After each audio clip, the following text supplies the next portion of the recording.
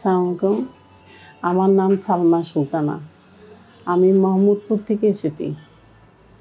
আমার অনেক সমস্যা ছিল। হাঁচি, কাশি, বুকে ব্যথা মাঝে মধ্যে হইতো। নাক দিয়ে পানি ঝরতো খাবার খেলে।